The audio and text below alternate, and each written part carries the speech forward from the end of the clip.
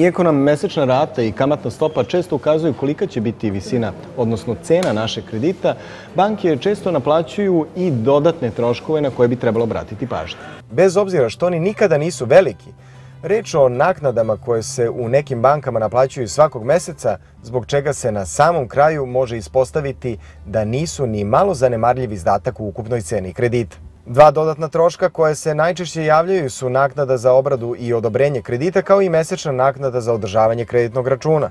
Upravo zbog toga Savet Prokredi banke je da pri uzimanju željenog kredita pažljivo razmotrimo sve detalje i troškove, ali i pažljivo procenimo koliko će nas pozajmica koštati na kraju perioda otplate i da li plaćanje ovih naknada zapravo predstavlja cenu za neke nama značajnije pogodnosti. Takođe ističu u Prokredit banci i naknada za obradu kredita, ali i naknada za održavanje kreditnog računa mogu se smanjiti pravilnim izborom banke, naročito na tržištu kakvo je naše, na kom posluje više od 30 banaka i gde je konkurencija izuzetno jaka.